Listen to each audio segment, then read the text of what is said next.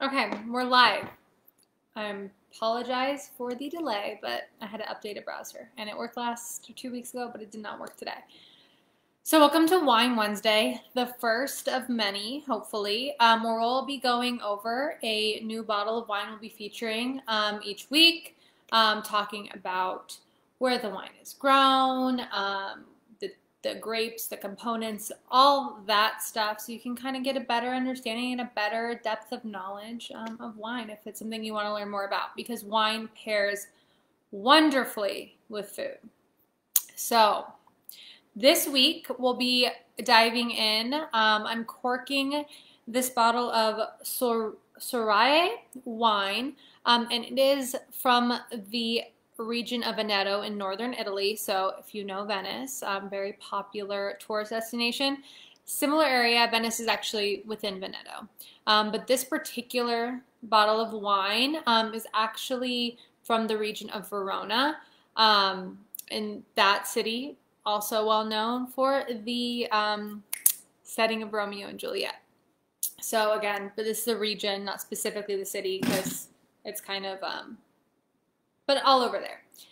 Uh, so this wine in particular is actually a red blend. Um, it is designated as an IGT wine. Um, Italian wines um, fall under different sorts of classifications. You have your DOCs, your DOCGs, and um, also your IGTs, um, which kind of fall below that. Um, they're not as heavily regulated, but they indicate a specific region of production similar to those, but just don't have as many regulations. Um, so this one specifically is a 2016 vintage, um, and it is 14% alcohol. I always like to touch on that because that kind of uh, gives you an idea of not only how it will affect you, um, but kind of like the dryness of the wine. Um, sweeter wines typically have a lower alcohol content, not that kind of thing. Um, this one um, is grown in, like I said, the Verona region. Very mountainous, um, hillsides. Um, that's just that area. For example, specifically on this bottle, um, it's the vineyards are on the top of the hills. Is what is what they're um, saying here. Now, this wine is made with the appassimento method of winemaking. Um, you will also find that in Amarone wines, Amarone de Valpolicella, um, and Valpolicella region wines. Um, Amarone de Valpolicella being one of those like hired some specifically either DOC or DOCG. I have to double check on that. Um, but I really, really do love those Amarones and Amarone de Valpolicella. So if you like those, if you've had them before, you will likely like this bottle as well. Uh, the blend um, components of this wine are going to be 40% Merlot grapes, 30% Corvina, which is a very um, typical grape of the Verona region. Um, it's actually, from what I've learned in the past, the most important grape variety of Verona region. And it's very common also in Valpolicella um, wines. Audra, sorry, one minute. It's okay. I don't know. Something's going on with my um, whole situation over here, but we're just going to power through it, and it's going to be posted for a later viewing. Um, so the um, other components would be 20% Cabernet grapes and 10% uh, Croatina grapes, which are also found in other regions of Italy um, as well. So uh, a little bit about the appassimento method that I briefly touched on just a moment ago is that it constitutes drying the grapes partially prior to pressing the grapes. Um, and what that does is that concentrates the sugars um, and the flavors in the wine. So it really lends itself to like a really um, wonderful, wonderful tasting wine.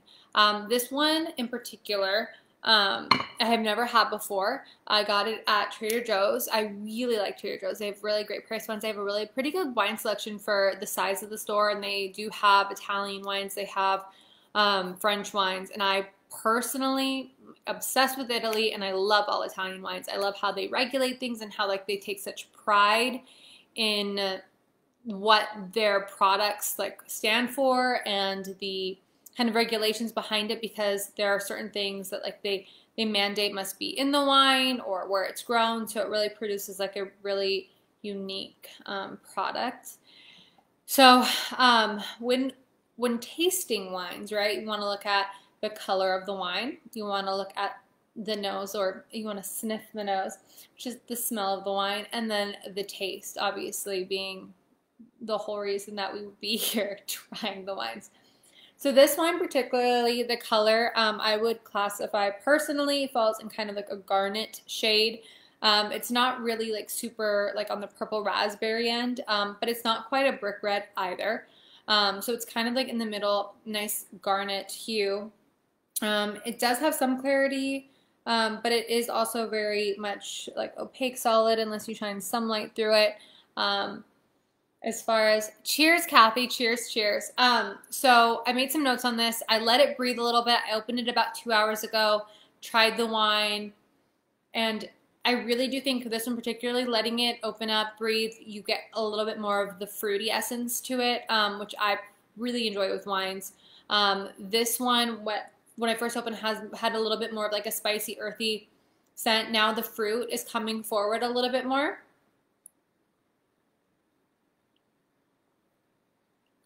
and it's really good. It has it's it is tannic. You get the acidity um, in your mouth and the side of your you know tongue with your taste buds. But this particular wine, it's okay, Kathy. Don't worry about it. this particular wine um, does pair well with red meats, with lamb, with um, I think you would like it too. It, it's really good with especially with food. I even had it um, with brie and a rosemary cracker earlier, and it was like really, really delicious. Um, and then it's warm, so you like feel it in the chest, like it just makes you happy, you know, as wine should. Um, has a little bit of spiciness to it, um, but it does also have the the dried fruit component, a little bit earthy, like a little very, very, very minor like tobacco in the in the nose, right? But I really, I really do like this. Again, nine dollars, eight ninety nine. I think at Trader Joe's, and it's it's really going to be really, really good as suggested. Pairs with those um, red meats. Is it kind of cherry? Mm, like a little, little bit, but it is a little bit. I would say like on the on the drier side. Um, you do have a little bit of fruitiness to it, but. Uh, not super, super, super sweet. Um, if you're looking for something a little more fruity, I probably would go for more of like the Amarone um, variety. Uh, but again, this one, the name of it um, is uh, Soraie, which kind of, I guess, designates the, the area or the the vineyards that they grow on. Is it heavy? No, heavy. I wouldn't say.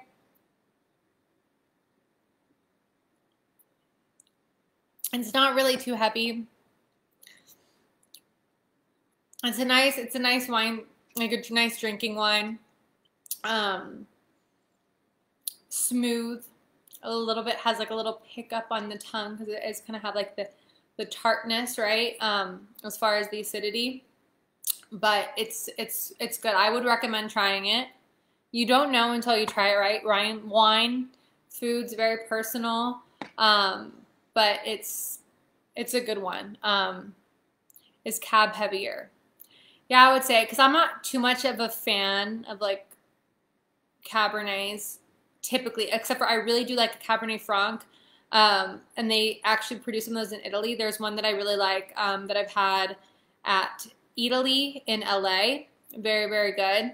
Um, but I would say compared to that, because this one does actually have 20% Cabernet.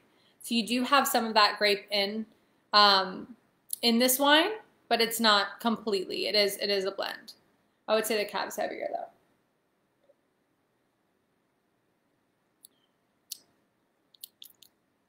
It's good. I like need to go get some takeout though. But yeah, I would pair this definitely with the meats over. You could do with a pasta that maybe has like a bolognese sauce or something like that. Any other questions? Because that about wraps it up if, if I don't have any more questions, but I'm here to answer them.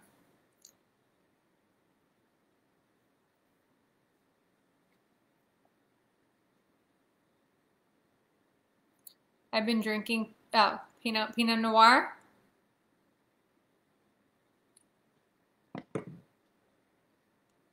I think this one is like if you like reds, you would like this, especially if you like Amarones. All right, so if you have any other questions, do please still comment.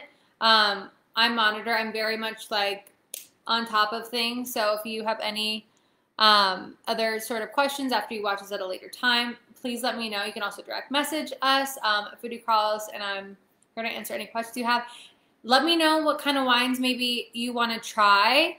Um, if there's a wine that maybe you're like, I don't know if I'd like that. I don't want to commit to it. I don't want to buy it because I don't know if I'm going to like it. Um, that's what we're here to do, kind of like expose um, everyone to different things, new wines, new foods. And so if there's anything that you particularly want to try, let us know. Comment, message us, comment on our anywhere on our feed. Um, and we look forward to Tom joining next week. Uh, let me know. And then we're going to do this on a weekly basis, Wine Wednesday, um, featuring a different bottle. We'll go through um, like the region, um, where it's from, what it's composed of, how it's grown, all that kind of stuff. So if you have any other questions, thank you. Thank you for loving my hair too. Um, I just got it colored. But let me let me know because um, we're really here to kind of help you guys experience and discover new things.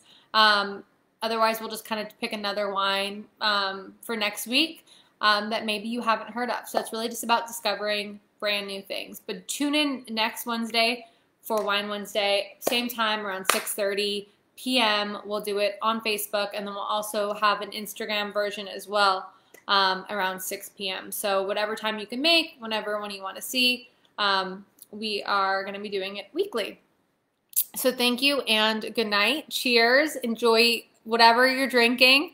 Um, give us a try. Let us know what you think about it if you do get it, give it a try. Um, and I'm going to finish this glass of wine. So we are, and as I'm learning how to do a live, so I need to figure out how to end this. oh, there it is. It's a big red button. All right, good night.